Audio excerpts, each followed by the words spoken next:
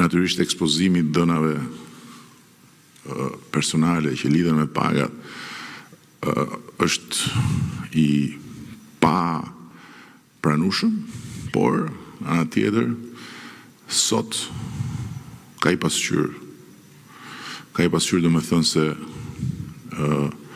në sytë e të gjithë shqiptarëve, ose të paktën e të gjithë atyre që kanë pasur mundësi ta shohin atë pasqyrë, dhe askush nuk do mund të na thotë që po sulmojmë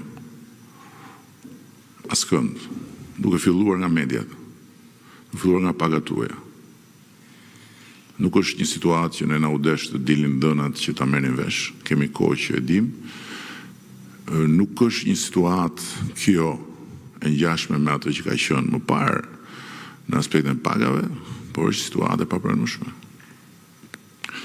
Dhe askush nuk do të na thotë dot që po sulmojmë mediat, duke kërkuar prej tyre Dhe jo vetëm prej tyre, por prej të gjitha atyre kompanive që japin paga fiktive të vetërregullojnë deklarimin.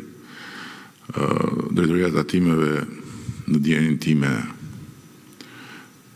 ka përgatitur dhe ka nisur apo do të nisë një letër për të gjithë tatimpaguesit me deklarime shqetësuese, të cilat rezultojnë në mospërputhje deri edhe flagrante me kapacitetet e tyre, duke iu kërkuar që të vetërregullohen me deklarimet e reja deri në njëzet janar. Sepse njëzet janar është data në fakt e deklarimeve të reja dhe në rast Mosvetërregullimi do të ketë hetim të thelluar për evazion dhe në rast se deklarimi i pasaktë dënohet me gjobë, evazioni dënohet me burg.